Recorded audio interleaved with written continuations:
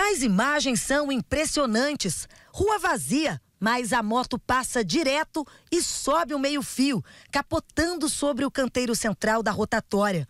Veja de novo os detalhes do acidente. O piloto não consegue desviar e segue em linha reta. O veículo era essa motocicleta potente, de mil cilindradas. A vítima não resistiu aos ferimentos e morreu na hora. O acidente aconteceu às 10h20 da noite de sábado. As cenas foram registradas por esta câmera de monitoramento de um condomínio residencial no setor Jardim Marilisa, em Goiânia. No local ainda estão os destroços espalhados da moto e os óculos de sol de uma das vítimas. De acordo com a delegacia de trânsito, o piloto seguia com uma mulher na garupa, aqui pela Avenida Diógenes do Olival Sampaio, sentido geos ativos que levaram o piloto a se chocar direto aqui com o meio-fio. Não há marcas de frenagem né, no asfalto, o que indica que realmente ele passou direto e só parou naquela marca de terra no meio do gramado.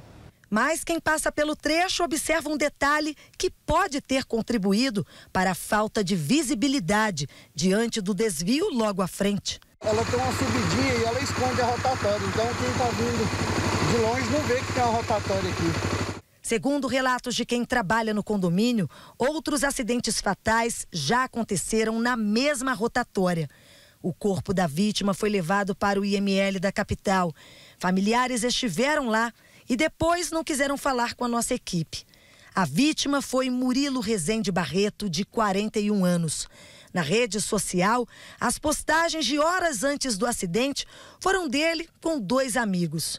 Nos stories, tem a foto de uma mesa com três garrafas de cerveja, cigarro e a chave de um veículo. A namorada do piloto fez uma homenagem com fotos e declarou o amor por Murilo. Ela fala da saudade que vai sentir pela perda tão precoce.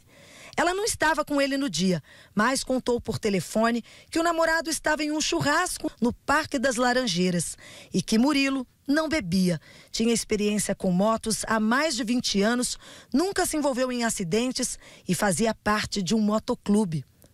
Já a mulher que estava na garupa foi essa jovem, Andressa da Silva Cantuário, de 21 anos, que teria pedido uma carona para conhecer a moto.